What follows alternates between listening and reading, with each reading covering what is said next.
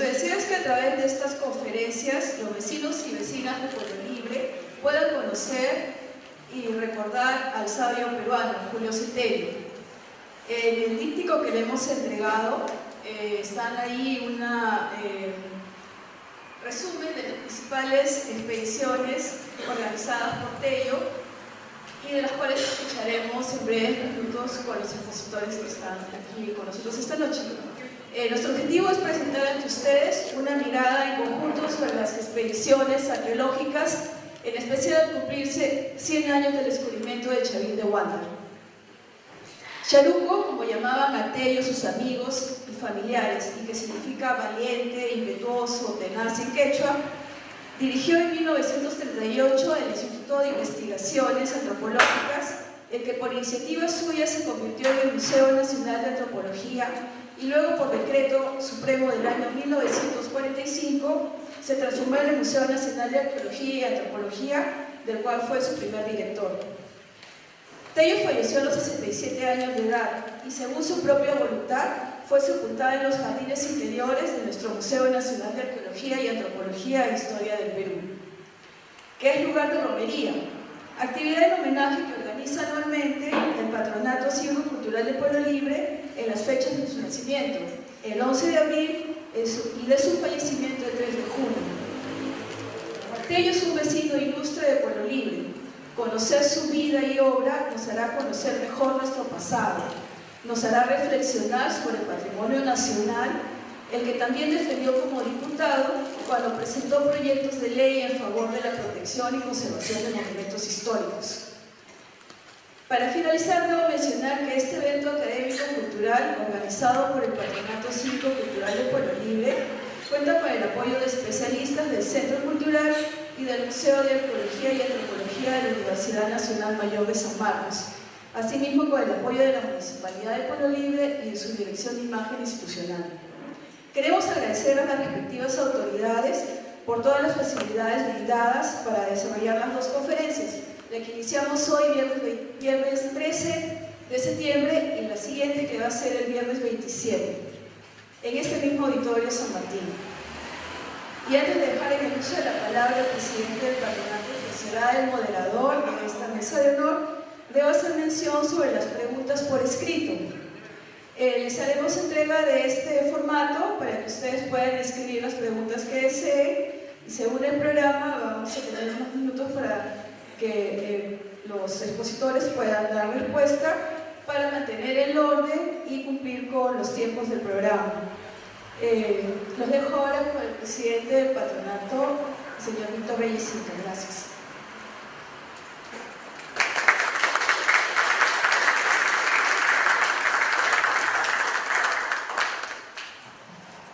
Muy buenas noches.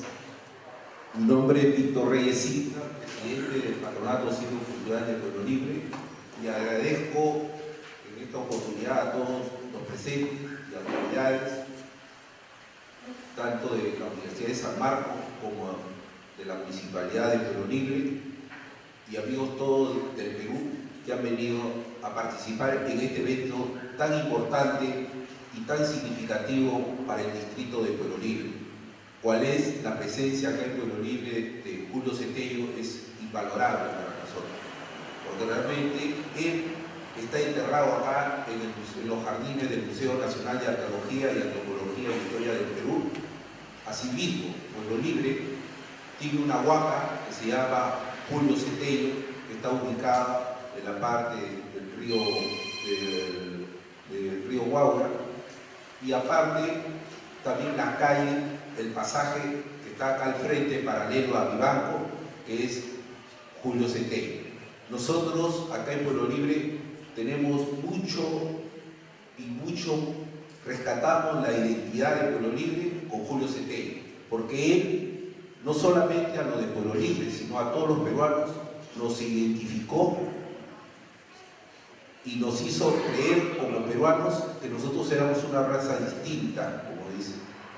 Una raza, digamos, que era una gran cultura, como era la cultura de los incas, y aparte de las prehispánicas, que por la arqueología, que él fue considerado el padre de la arqueología, ha servido, digamos, Por eso doy la bienvenida a todos y especialmente agradecer eh, al ingeniero César Sandoval Chauti, asesor principal del rectorado de la Universidad Nacional Mayor de San Marcos, que tiene representación del rector Orestes Cachay Goza, por las facilidades que nos está brindando con los profesionales e investigadores que cuenta San Marcos, donde estudió nuestro sabio Julio Cetello Rojas.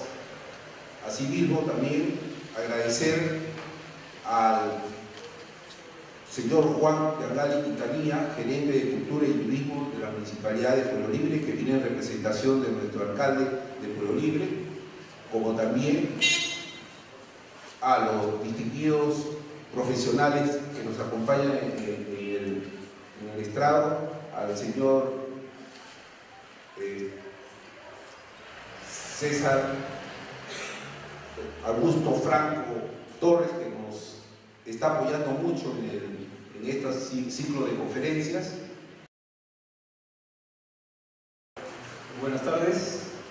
Gracias al Patronato Ciclo Cultural de Pueblo Libre por la invitación a esta charla que he elaborado para compartir con ustedes y que específicamente trata sobre las expediciones arqueológicas que dirigió Julio Cetello eh, bajo auspicio de la Universidad de San Marcos, que es algo que no se conoce mucho porque se piensa que Tello, bueno, se sabe que Tello recorrió casi todo el Perú haciendo exploraciones arqueológicas, pero hubieron algunas de ellas que fueron auspiciadas directamente por nuestra casa de estudios. Y justamente ese es el tema central de esta, de esta presentación. Eh, y voy a continuación a, iniciar esta, esta ponencia. La intención de esta, presentación es resaltar lo que yo llamo simbiosis académica entre Julio Cetello y la Universidad Nacional Mayor de San Marcos para el conocimiento científico de nuestro pasado prehispánico. Esta simbiosis académica se manifestó, entre otras cosas, en las expediciones arqueológicas que la universidad auspició y financió para diversas regiones del país y que fueron dirigidas por el sabio Julio Cetello. En esta charla voy a tratar de manera general sobre cuatro de las más importantes, tanto para nuestra casa de estudios como para la arqueología peruana, eh, de estas expediciones. A saber, primero, la expedición arqueológica del departamento de Ancash en 1919, que es justamente la que eh, se, conmemora este año los 100, los 100 años del descubrimiento del, sitio de Chavín. La segunda expedición es sobre la expedición al Valle de Asia, en 1925, una tercera expedición a la orilla del Mantaro en 1931 y la expedición arqueológica al Marañón de 1937. Esas cuatro expediciones brevemente las voy a tratar en esta presentación. Debo mencionar que en el libro Historia de los Museos Nacionales del Perú, convidado por Toribio Mejía, que fue el principal asistente de Tello, se señala que el Museo de Arqueología de San Marcos también ofició otras expediciones, pero más breves, como por ejemplo la Guataramburu al Valle de Chillón en 1931, al Valle de Peña en 1933, nuevamente a Chavín en 1934 y 1944, aunque esta vez eh, en, asociación con el Instituto de Investigaciones Arqueológicas de la Universidad y el Museo Nacional, en este caso es el Museo de... Ah, eh, ah, lo que antes era Pueblo Libre era un Museo Nacional que después se transformó en Museo Nacional de Antropología y Arqueología eh, primero voy a explicar brevemente el contexto que alienta esto que llamamos simbiosis académica entre Tello y la universidad. Durante la segunda mitad, durante la segunda década del siglo XX, la Universidad de San Marcos tuvo entre sus objetivos apoyar expediciones en el territorio nacional con carácter científico. Así fue cuando en 1918 financió la expedición del doctor Carlos Rospigliosi a la selva central peruana, específicamente a las regiones del Perené, Oxapampa y Posuso.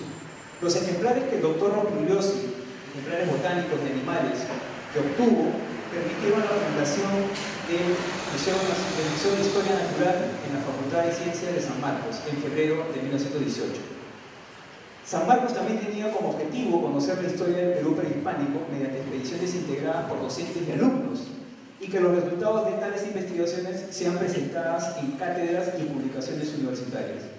Es en este contexto que Tello, recién ingresado como docente a San Marcos en 1918 y con toda la expertise de su formación académica en Estados Unidos entre 1910 y 1913, promueve realizar expediciones de índole arqueológica y la fundación de una entidad museística que tenga como finalidad de investigación seria y con carácter divulgativo, cosa muy diferente a la función politizada que en esos momentos tenía el Museo de Historia Nacional, del cual Tello había sido despedido en 1915.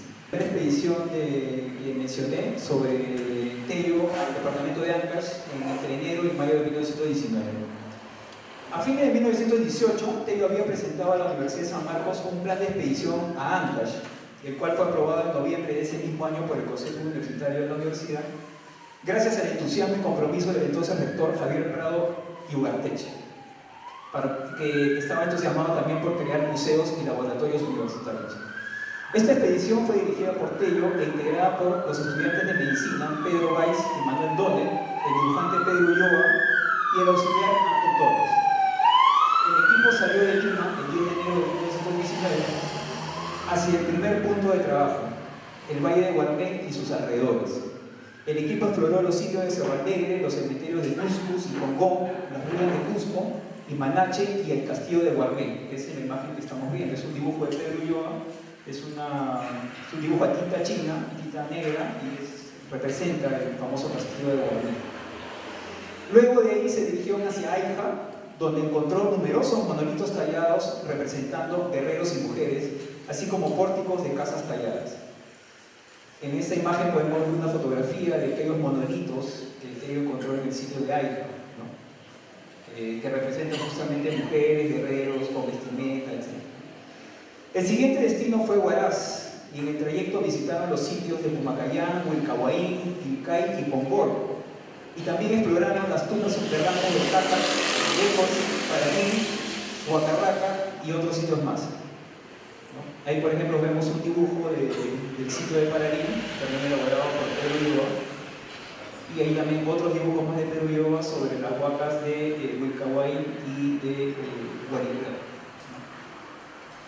En abril de 1919 llega el equipo a Chavín de Huanta. El principal trabajo se llevó a cabo en el templo de Chavín, que estaba semi-enterrado y donde en uno de sus numerosos pasajes subterráneos estaba el famoso lanzón monolítico de 4.5 metros de alto. El equipo también recuperó numerosos objetos típicos, como por ejemplo eh, cabezas clavas, estelas, etc.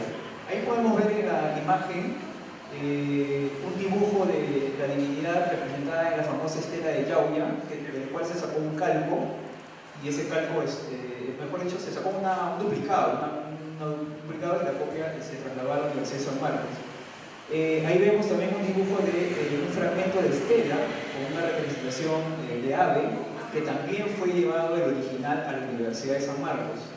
Y en la parte inferior derecha podemos ver una cabeza clava con representación de una divinidad femenina, que el original también fue llevado a la Universidad Nacional Mayor de San Marcos. Pero sin duda, la joya de la corona, por decirlo de esta manera, fue el descubrimiento del obelisco Chavín, o conocido como obelisco T, que representa la figura de un dios felino y que estaba como adorno en la entrada de la iglesia del pueblo de Chavín. Este obelisco fue llevado a Lima en una travesía muy difícil. Ahí podemos ver un dibujo sobre el obelisco y un poco a los costados, a ambos lados del obelisco. Es una transcripción gráfica del icono que está alrededor del, obelisco. Este obelisco representa eh, una figura mitológica también eh, y que también fue trasladado a la, Universidad de San Marcos. Eh, la, expedición del 19 culmina haciendo excavaciones en la ruina de Copa y de Tuchucay. Podemos sacar algunas conclusiones este, de esta expedición. El análisis de estos hallazgos los Tello los plasmó en el libro, en el breve libro Introducción a la Historia del Antiguo Perú de 1921, que lo tenemos en la mano izquierda de color rosado, y en el artículo Huiracocha, que lo publicó en la revista Inca de 1923. La carátula la tenemos hacia el lado, hacia el lado derecho de la imagen. Otra conclusión es que Tello denominó cultura megalítica andina a la primera época de la prehistoria peruana. Esta se define por dos cosas. Por construcciones de piedras grandes, tumbas, adoratorios y templos, y el estilo particular de la escultura y cerámica.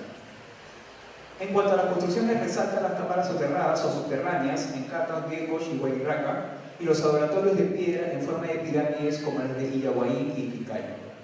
Hasta antes de 1919, el arte lítico de Chavín era poco conocido, solo se sabía de la estela de Raimondi, de Lanzón y algunos dibujos de estelas que había realizado el viajero Charles Wynne. Pero Tello encuentra innumerable variedad de obras escultóricas típicas que incluso eran usadas por los lugareños de Chavín para sus usos domésticos o para reparar muros de construcciones recientes. Otra muestra del arte lítico eh, de Chavín son las esculturas de piedras antropomorfas que representan guerreros y mujeres como las encontradas en Mayacayá, Tayushkawaín y Rubre. Su tamaño varía entre 40 centímetros y 1,50 metro. Esas las imágenes que vimos en la fotografía representan estas, estas figuras eh, líticas. Esta figura se aprecia, eh, esta figura se aprecia el uso de indumentaria local como las guaras, el caparrabo, las yinchas, el manto de la espalda o las ñañacas, que son los paños de la cabeza. Ahí podemos ver, por ejemplo, algunas figuras que Tello, eh, el dibujante Tello Pedro Oliva elaboró y que fueron publicadas en este pequeño librito de introducción a la historia del antiguo Perú, cuya carátula vimos hace, hace un momento. La, monumentalidad arquitectónica, la variedad de vestigios líticos y la complejidad de su simbología religiosa llevó a Tello a pensar que el templo de Chavín fue la obra más notable del arte de origen peruano. Asimismo, eh, Tello distinguió tres tipos de alfarería, dos de estilo callejón de Guaylas, dos de estilo callejón de muy semejantes, por representación de fitomorfas, zoomorfas y antropomorfas, así como las escenográficas y de actividades cotidianas, y la otra de estilo chavín. Característica de este arte lítico es la morfología cerámica norteña como realista y escultórica diferente a la pictórica y policromática del sur. Finalmente enfatiza el autotonismo de las culturas peruanas y describe la existencia y extensión de la cultura megalítica chavín plasmada en sitios arqueológicos que van desde Lambayeque, Bucaje y la cuenca del río Guayana. La gran cantidad de material arqueológico recolectado por Tello en esta expedición requería de un ambiente especial, por lo tanto hizo las gestiones necesarias para que la universidad creara su Museo de Arqueología, hecho que sucedió el 21 de octubre de 1919. El local primigenio del Museo de Arqueología de la universidad fue en la Torre de San Carlos, la actual iglesia del Panteón de los Próceres, y luego pasó a los balcones de los santos de la Facultad de Letras, la actual casona de San Marcos. En 1921, según acuerdo del Consejo Universitario, la sección arqueológica del Museo Raimondi también pasó a integrar el Museo de Arqueología de San Marcos, y esta colección constaba de 411 objetos. En la siguiente conferencia de mi compañero Wilber Luisa, él va a ser más específico en el contenido de las colecciones que eh, integraron la formación de este Museo de Arqueología Nacional. Quiero, que, quiero que me acompañen en ver esta foto, que es eh, eh, una de las cosas increíbles que tiene nuestro archivo fotográfico. Es quizás una de las pocas fotos, quizás la única que yo conozco, donde Tello está justamente en los altos, probablemente porque nos faltan algunos criterios para firmarlo que ellos están justamente en los saltos de la Facultad de Letras de la Casona, es decir, en la entrada del Museo de Arqueología, aproximadamente en la década, en la, década del 20. Si ustedes pueden un poco agudizar la visión, detrás del templo hay como una especie de torre. Ese era el famoso mirador que existía en la casona de San Marcos hasta el año 40, que fue destruido por el terremoto.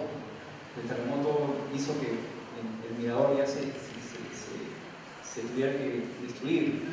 Entonces, eh, estas fechas nos hacen pensar de que esta foto puede ser bien en la década de los 20 o a más tardar la década de los 30. Es quizás uno de los pocos eh, eh, registros fotográficos que tenemos de Tello en el recién creado Museo de Arqueología de nuestra universidad. Eh, según el inventario de 1946 del Museo de la Universidad, se contabilizaron aproximadamente 1.500 piezas que ingresaron al museo de nuestra universidad de esta expedición de Ancash. En el libro Antiguo Perú te afirma que en el Museo de Arqueología San Marcos eh, se poseía la más variada y abundante colección de cerámicas de estilo callejón de Guaymas.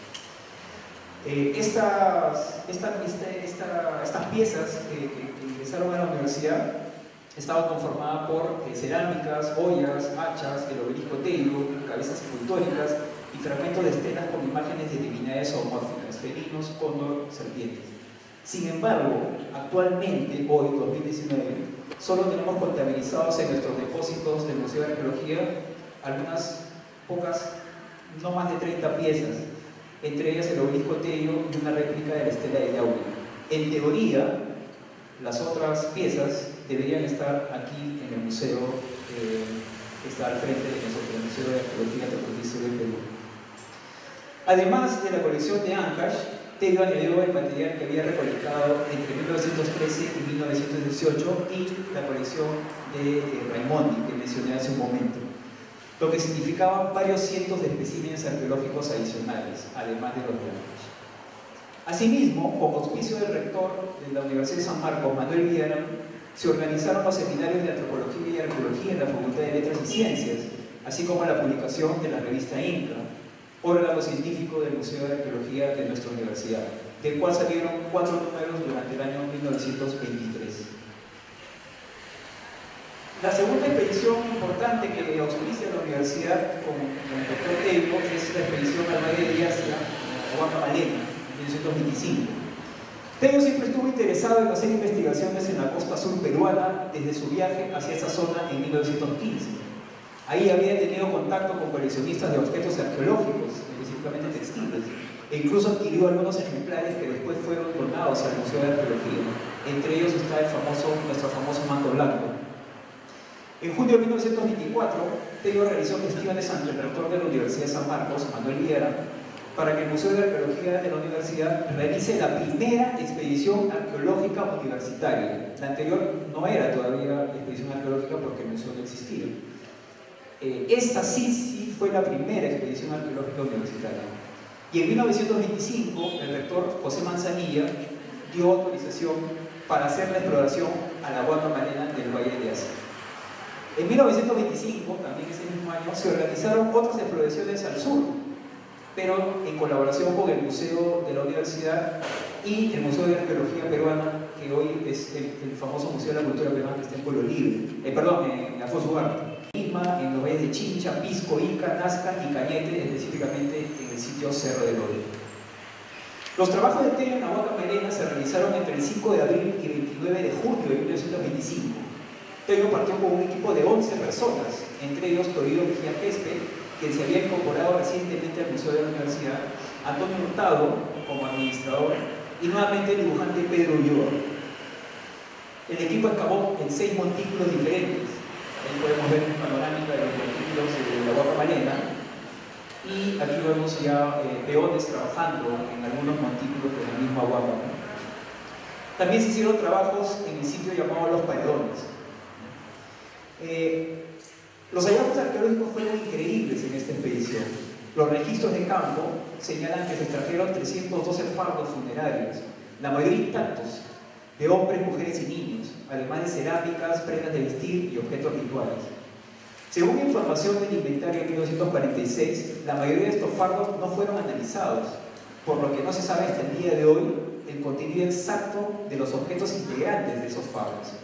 Solo se consignó de manera muy general la cifra de 6.484 especies, que sin, que sin duda podría aumentar si sabemos realmente el contenido de tales fardos. Ahí podemos ver la, foto del encuentro del hallazgo de uno de los fardos del, sitio de Malena. ¿no? Está prácticamente con todo su acuario. Ahí vemos un dibujo de otra, de otra momia, la momia 18 también, dibujo también por Pedro ¿sí? Que vemos algunos dibujos de los objetos Tello dentro de, estas excavaciones en la, en. Al parecer, estos restos humanos no serían de procedencia nazca, sino de una cultura local con vínculos guari. Asimismo, esta expedición mostró a la comunidad científica y al país en general la importancia de hacer una investigación arqueológica in situ, con lo cual se reconstruye de manera científica el pasado peruano, a diferencia de las, de desconceptualizadas colecciones privadas o producto de saqueos que estaban en boga por esos años.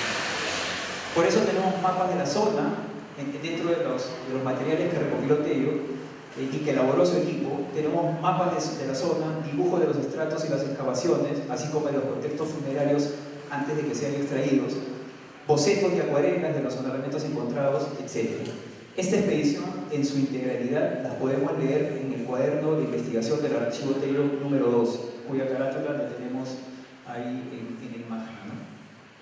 Es interesante resaltar que estando en la costa sur, en la zona de la costa sur, Tello tuvo contactos con algunos vaqueros que le dieron noticias sobre lugares con entierros prehispánicos un poco más al sur, específicamente en Arena Blanca y Cerro Colorado, que son los sitios más importantes de la cultura Paracas, los cuales explorará en julio del mismo año y excavará en 1927.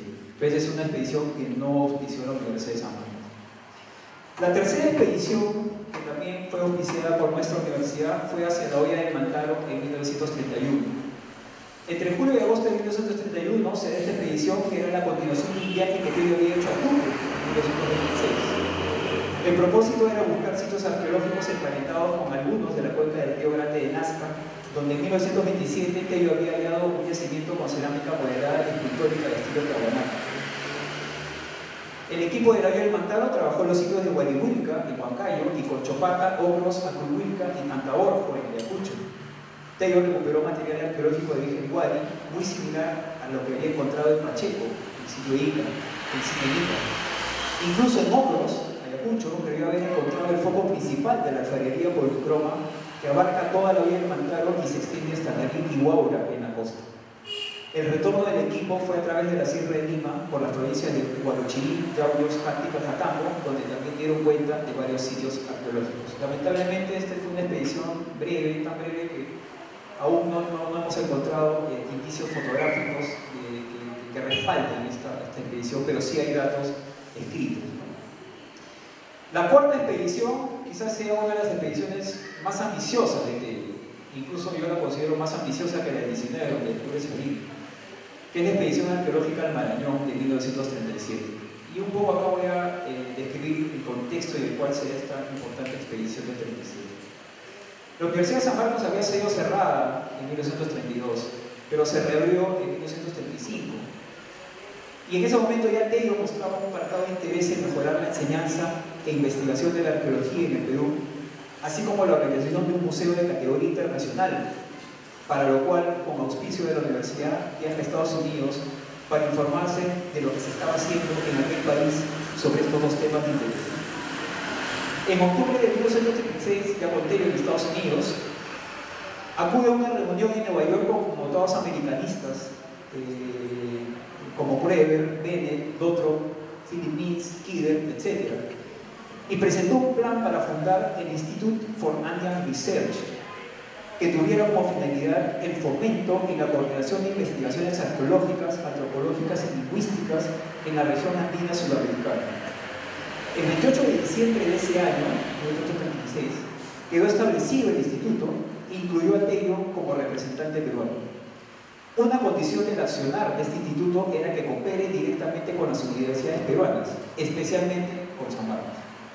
En ese contexto, en abril de el 29 de abril de 1937, Tello presentó a la Universidad de San Marcos el proyecto de exploración arqueológica a la vertiente oriental de los Andes, es decir, a las ollas de los ríos Marañón, Guayaga, Mantaro y Apurímac. Tello pensaba que en esta extensa región, que integraba costa, sierra y frontera amazónica, estaban las evidencias de las culturas originarias de las cuales se habían derivado las posteriores y conocidas culturas de la sierra y la costa. Con el apoyo económico de, la Nelson, de Nelson, del millonario Nelson Rockefeller, y del Instituto of, the, eh, Institute of Andean Research y con la autorización del rector Alfredo Sof y Muro, mediante resolución rectoral número 914 del 10 de junio de 1937, Tello inicia como director del Museo de la Universidad la gran expedición arqueológica al Magallón, Guayaga y Ucayali.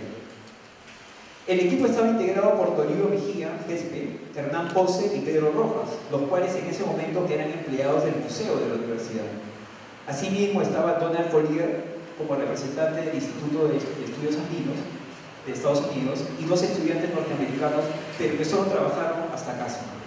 El equipo partió de Lima el 16 de junio de 1937 y retornó a Lima el 18 de diciembre de 1937, más o menos entre 5 y 6 meses de expedición.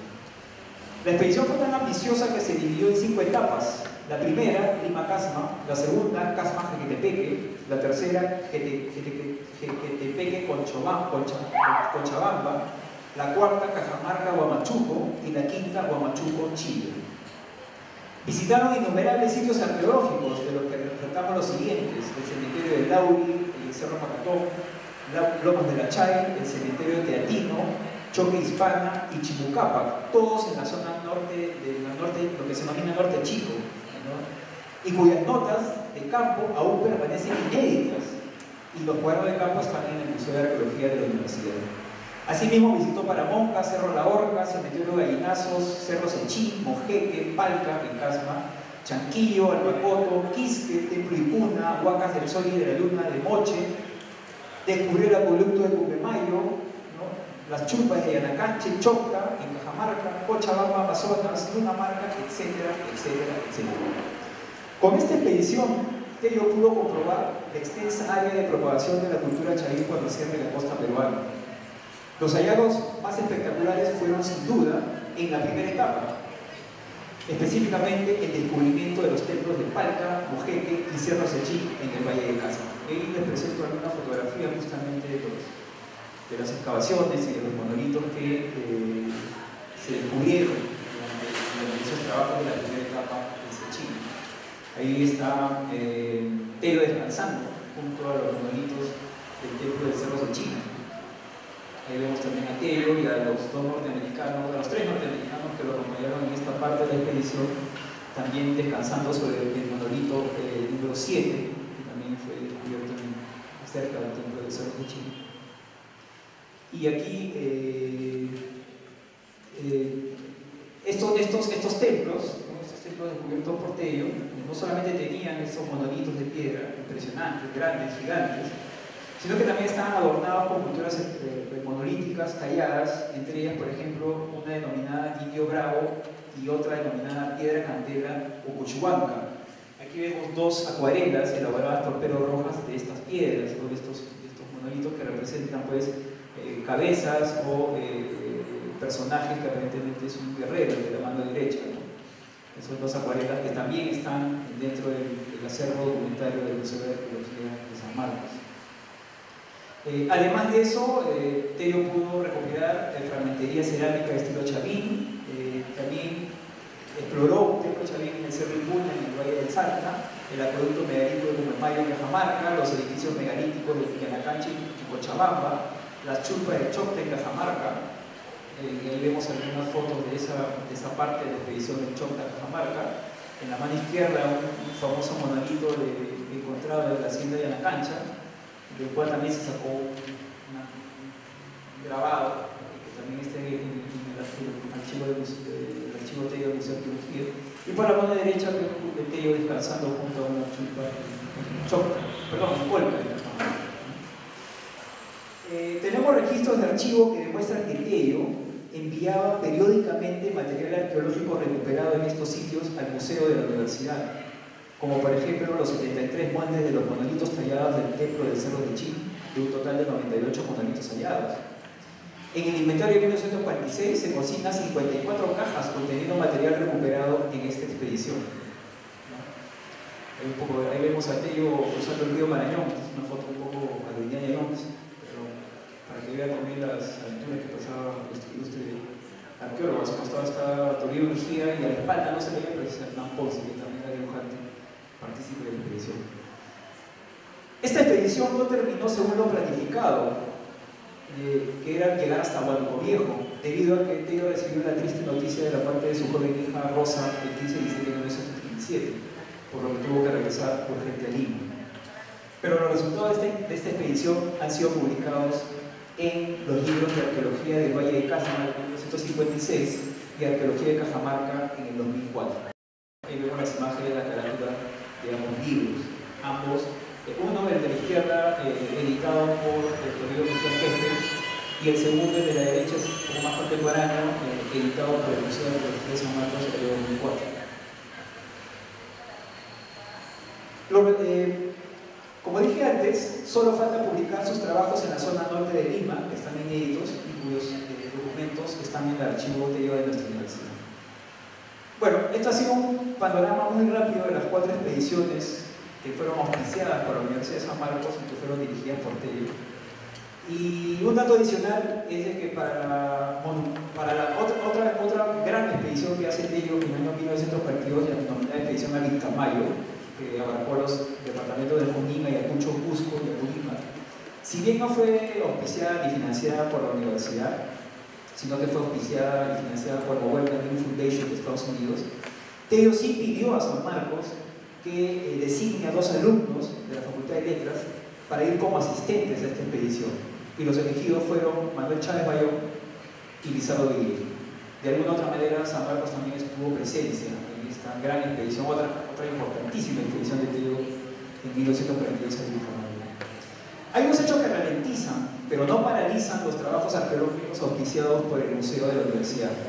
Estos dos hechos fueron, primero, el terremoto de 1940 que afectó dramáticamente las estructuras del museo ubicado en las instalaciones de la zona de San Marcos, lo que obligó a Teo a pedir a la universidad que se construyera un nuevo local para la gran cantidad de material arqueológico que ya estaba resguardando. Y el segundo hecho importante es la formación del nuevo Museo Nacional de Antropología y Arqueología, hoy Museo Nacional de Arqueología, Antropología y Historia de Perú en 1945, el cual, bajo el marco del artículo 69 de la ley número 10555, fue federado, ojo, federado con el Museo de Arqueología de la Universidad. El 13 de mayo de 1946, el Consejo Universitario de San Marcos acuerda crear una federación entre el Museo de Arqueología de la Universidad y el nuevo Museo Nacional de Antropología, Arqueología y Historia del Perú. Se concreta así uno de los sueños anhelados por Tello durante toda su vida, la creación del Gran Museo Nacional de Arqueología Perú. Y Tello fue designado como director de este nuevo museo. Las actividades del Museo de la Universidad continuaron hasta la muerte de Tello estando ya instalado en el local aquí del Museo de Pueblo Libre, pero esta vez bajo la dirección de Revero Carrión Cachón. Se organizan exploraciones a los valles de Chancay y Huaura en 1947, al Valle de Díaz en 1952, al Valle de Mala en 1954 y al Valle de Nazca en 1954 también. Incluso, a fines de la década de 1950, se dio una importante colaboración educativa entre la Universidad de San Marcos y la Comisión Fulbright de Estados Unidos, esta convención universitaria tenía como finalidad investigar toda la costa peruana con la participación de renombrados arqueólogos norteamericanos como John Rowe, Edward Lani o Wallace y la asistencia de alumnos samarquinos. Entre ellos estaban Rosa Fun, Ducho Bonavia, Ramiro Matos, Luis Lumbreras, etc. He intentado mostrar que lo que he denominado simbiosis académica entre Tello y San Marcos fue fructífero y de profunda impronta para la arqueología y el acervo cultural nacional. También lo fue, aunque menor, aunque menor, aunque menor intensidad, después de su deceso. Gracias a ello, el Museo de Arqueología de nuestra universidad cobija, cobijó y sigue cobijando colecciones de textiles paracas, cerámica nazca, huaylas, moche, colecciones de particulares y donaciones, como ejemplo de su compromiso con la conservación, la investigación científica y la apuesta museográfica de nuestra más representativa y valiosa riqueza cultural prehispánica. Quiero resaltar que la actual gestión del doctor Orestes Cachay asume este legado y está haciendo las gestiones respectivas para identificar las colecciones pertenecientes a nuestra universidad, que tras más de 60 años aún permanecen en las instalaciones del Museo de Arqueología e Historia del Perú, eh, Libre. Para finalizar, Tello es sin duda el intelectual peruano de su generación que más visitó el territorio nacional con fines científicos. Recapitulando, sea personalmente o mediante los viajes de su extraordinario equipo de asistentes, exploró y excavó en toda la costa, menos en Tumbes, en toda la sierra, menos en Pascua. No pudo visitar la región amazónica, pero la cual sin duda estaba en sus planes de visita en corto plazo.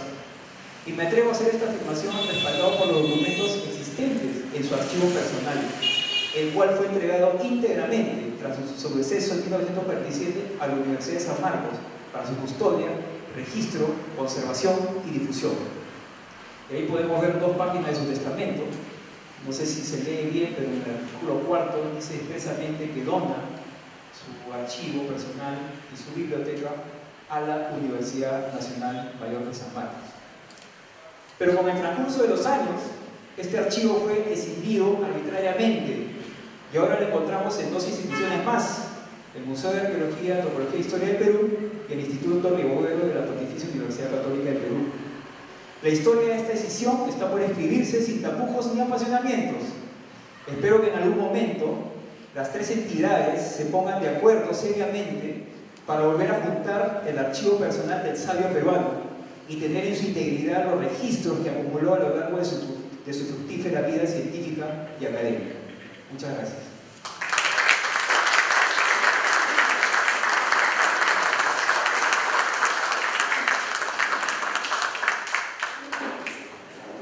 Muy agradecido al antropólogo Víctor Paredes Castro.